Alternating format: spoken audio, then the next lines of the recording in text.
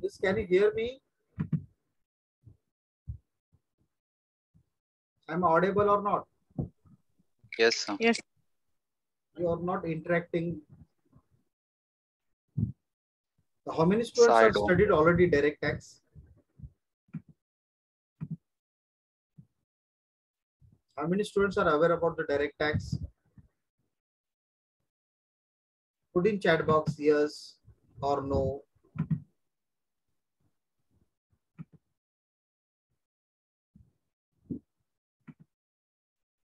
Means you are not aware about the direct tax.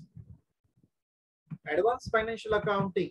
Now you already studied the financial accounting in semester five and semester six. In the financial accounting, you have studied the company final account. How many students studied company final account? How many are studied company final account? If you studied the company final account, put in chat yes. Because financial accounting was a compulsory subject in TYBCom and you already studied the company final account. You studied the partnership firm final account also. Then you studied the proprietary final account, non-manufacturing firm final account. So same similar type of study we have in our semester third and we will study some final account part also. Direct tax in in, uh, in TYBCom you studied the how to compute taxable income but in MCOM in semester third we will study how to find out the tax liability tax liability how we will calculate what is advanced tax what uh, TDS means what returns means what such advanced concepts and practical way we will study. Then after that, friends, these are financial services. This particular uh, subject is very important for exam point of view and your knowledge point of view also. Because finance services, this particular subject is not available to other colleges. And I specifically uh, take this particular subject for our MCOM students. Because financial services it is a one of the uh, we can say healthy sub, uh, subject as compared to other subjects. Because it gives the information about the updated knowledge of the today's scenario and it gives the updated information about the finance in our country and outside also. Therefore finance services it is a one of the major subject. It is very knowledgeable subject.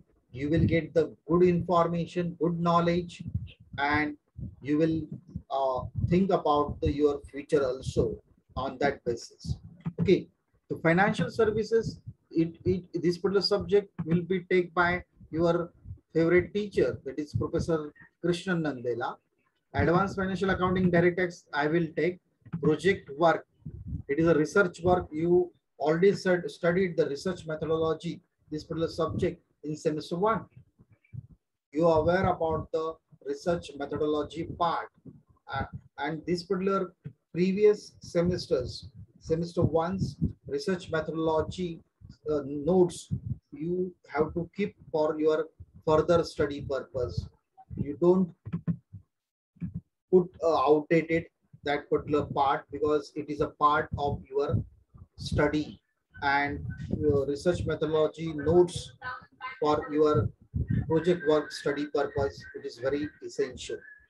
Semester third this particular semester third we will discuss and we will study then after that in semester four we have a semester four it is a last semester, but it is a one of the important semester. In this particular semester four, we have corporate financial accounting. And one more subject is there, indirect tax. In, in our indirect tax, we will study goods and service tax, that is GST. So we have a good opportunity to score good marks and study very knowledgeable subjects, very informative and knowledgeable subjects we will study. The corporate financial accounting, indirect tax, under indirect tax we will study goods and service tax. Then after that, one more subject we introduce in semester four, that is international financial reporting standards. That is IFRS, International Financial Reporting Standard. Now, one one uh, one more announcement because this particular subject also not there in outside the colleges. Other colleges they don't have this type of subject, and we will intentionally take this particular subject because this particular subject gives the information related to the accounting standards. And it is it provides the knowledge related to the international accounting standard and indian accounting standards. So indian accounting standard we will compare international accounting and our Indian accounting standards and how we will conversion of IFRS into Ind AS. It means conversion of the uh, foreign accounting standards in our country. How we convert converted, conversion is there that we will discuss. So it is one of the major subject in our module in our semester four. Then after that, in semester four, we have one more project one. We have to study one more project one. Again, you should prepare research top project. The, the guy, uh, that particular teacher will give uh, any particular topic. You should select the topic. On that basis, you should prepare the project work and you should submit to the college. College will take the Viva and on the basis of your project work and Viva, college will allot some marks. It is out of 100. And for that purpose, college will appoint two examiner. For project work purpose, college will appoint two examiner that is external examiner and internal examiner. It means external internal examiner means the within the college, college teacher check the project what, take the Viva and allot the marks. External examiner means the outside of our college, some other college teacher he will take the uh, check the project work and take the Viva and allot the marks. So ex external and internal examiners both they merge their marks and they will send to the university. The project work, it is uh, major work and project work you should properly do for your scoring purpose. So here, corporate financial accounting, it is also for 100 marks, indirect tax, 100 marks, international financial reporting standard, also 100 marks, and project work, 100 marks. Now, friends, one thing you have to keep in mind, we have a 60-40 pattern. We have a 60-40 pattern. 60-40 pattern means you, you already aware about the internal, internal test conduct, inter-class test conduct for 40 marks and external class uh, test conduct for 60 marks. Internal test conduct by colleges and external test conduct by university. Now you know that you already aware about last year you you have experience about this 60 40 the same things is there here also. And if the possible uh, offline mode we will conduct the exam. If the because of the covid pandemic we are conducting objective test. But if possibility is there maybe we will conduct offline exam whenever we will conduct the offline exam, paper pattern is totally different. We will not ask if the offline exam is there, we will not ask objective questions. We will ask practical problems, theoretical problems, theoretical questions, and objective questions also. Therefore, you have to keep in mind that we have to study all part of our subject not only objectives, you should study theory, practical, and objectives. Because suddenly they will decide that we will conduct offline mode. When they will decide uh, we will take the lectures in offline mode also. So you should prepare yourself and you have to think about you will be aware about the practical part you should know about the theoretical part and objective part also. Therefore, all subjects are equally important, all semesters are equally important, and every subject you should score properly. You should give equal weightage to the all subjects. Don't think about if you see that in our semester third, this is a practical subject based subject. It is also practical based subject. Financial services is a theoretical subject, but it is interesting. It is interesting subject is that. Then corporate financial accounting, practical accounting, GST also we have a practical problems. And international financial reporting standard, we have a theory and some case studies also. But we will not take deeply, but some standards related to our syllabus that we will study.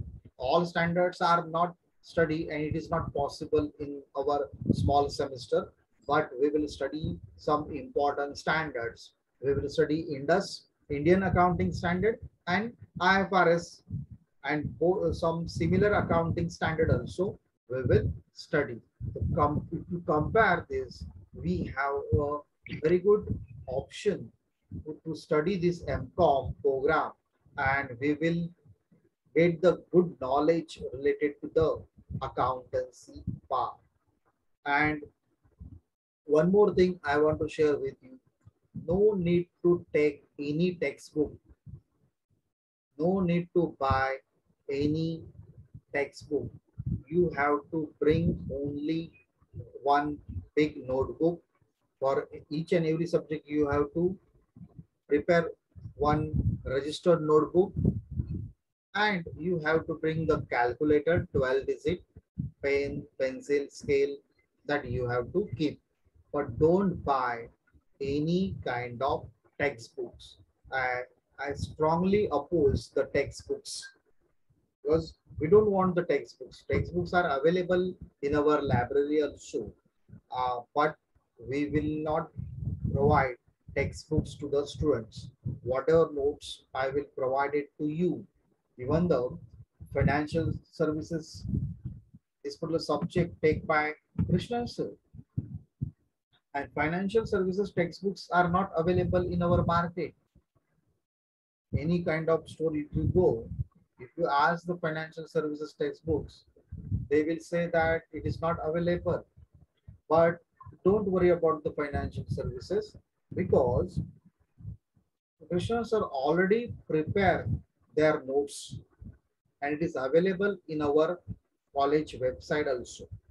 You can see the financial services notes in our college website. Even that they can sir can directly share in your telegram group or whatsapp group also. So you don't worried about the uh, notes and the this particular textbook purpose. Don't worry about. And direct tax and ad advanced financial accounting these particular two subjects i will give the proper notes to you. And practical problem also i will teach. Because without practical problem without first of all we will discuss the concepts. Concepts is very important. Once the concept clear you can easily study practical. After practical is completed you know about the you have a knowledge about the practical and concept. You can easily tackle or solve any multiple choice question. So it is very important that you should study concepts, then practical problem, then objectives. You, if you go directly to the objectives without study concepts and the practical problem, it is not a good kind of study because you are not aware about the concept, you are not aware about the, how to solve the problems. So how can you understand the objectives so you should study concepts, practical problem, then you can understand the objectives also. The chances are very less whether paper pattern is only objectives. I don't think so. They may be take offline mode exam. So you should prepare for offline mode purpose. Don't think about objective A. I, I, I can easily manage but it is not possible because you have to think about your study and knowledge point of view. Then after that, you have to think about the exam point of view. Okay, so let us discuss. We have a advanced financial accounting, this particular subject.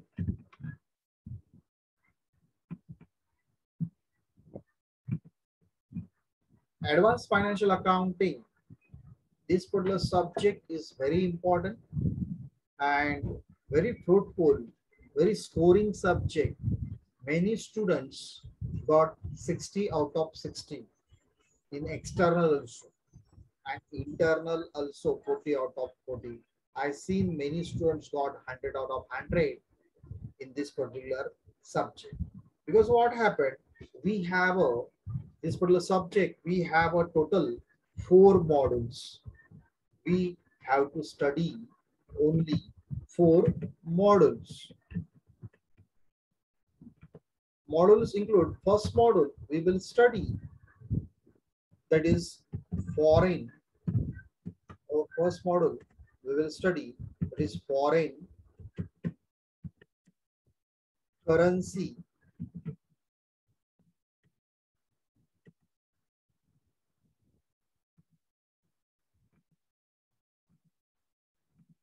foreign currency transaction.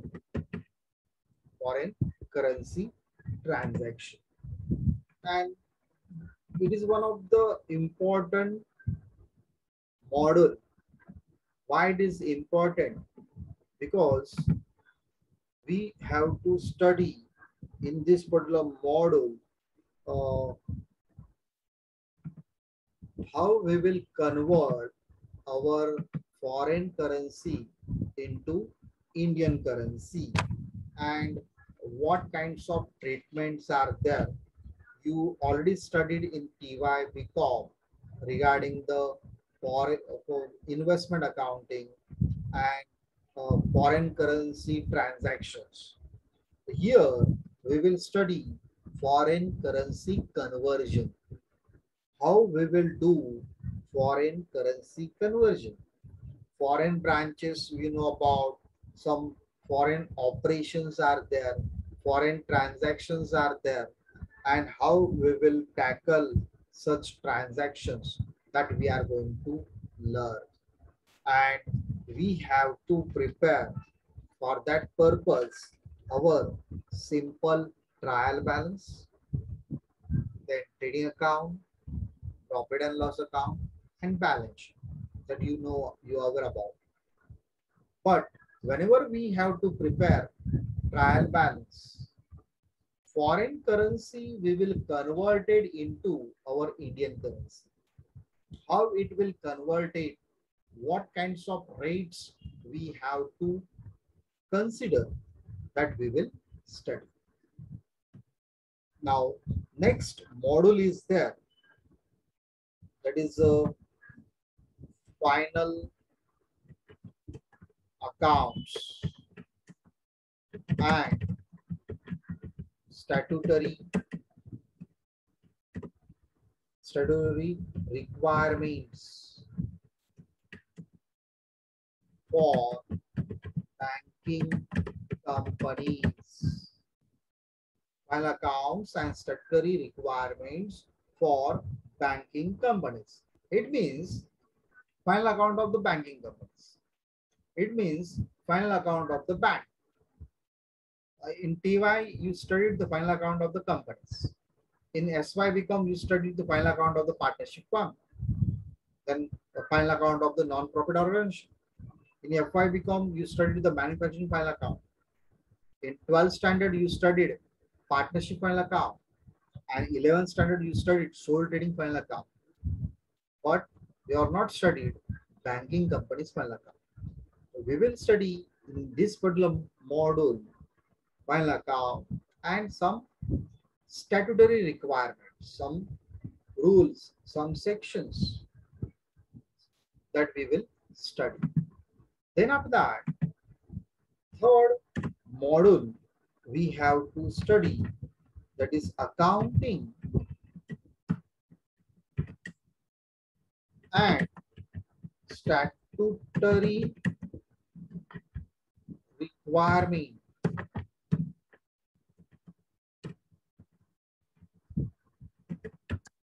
for insurance companies. Accounting. It is accounting and statutory requirements for insurance company. It, it simply means insurance companies. We will study in this third module final account of insurance companies. Now, there are two types of insurance companies. You know, you are aware about general insurance and life insurance. General insurance and life insurance. And their formats are different. Our company account we will study. We studied the partnership final account also. Formats are different. Banking companies final account for formats are different. Insurance companies form companies final accounts format also different. Their schedules are different. In company account, we will study the note, we will prepare the note to accounts. Banking company, we have to prepare the schedules. In insurance company also, we will prepare the schedules. Banking company schedules and insurance company schedules are different. You should aware about these things because in future, if you go to the any company, maybe a banking company or insurance company, you should aware about the how they prepare final accounts. Banking company's final account you should know about. Insurance company's final account you are aware about.